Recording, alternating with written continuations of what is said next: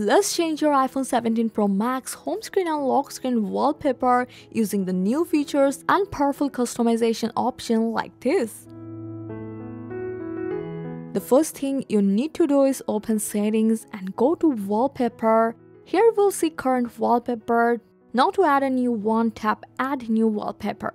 Here you can see Apple gives you a variety of featured default wallpapers to choose from. But if you had like to use your own photos, tap photos, then all, then pick any photo you want. Once selected, you can now adjust and position the photo and you can also enable the depth effect. Then you can customize how the clock looks on your lock screen to match your wallpaper and then when you are happy with the result, just tap add, then choose set as wallpaper pair. Now your new wallpaper is applied to both the lock screen and home screen.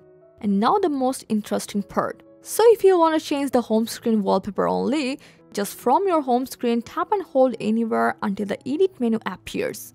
Then select edit wallpaper from top and from here you can toggle blur on or off to match your preference.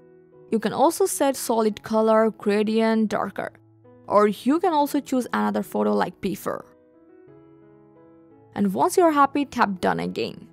And now to customize only your lock screen, lock your phone, then tap and hold the lock screen, enter your passcode if needed, then tap the plus icon to add or customize your lock screen wallpaper. And that's it. This is how you can easily change and customize your wallpaper just the way you like. Hope this guide helped. Thanks for watching.